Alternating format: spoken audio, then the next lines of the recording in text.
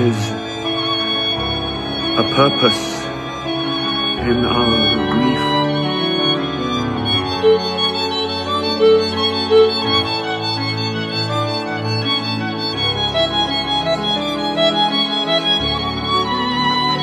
Why?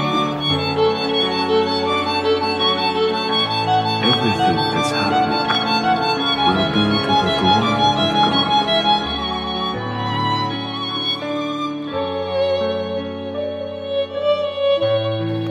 don't want you to go.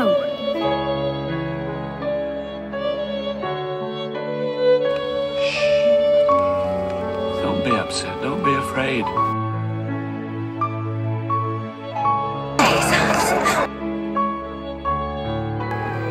Tamar, you'll always be with me.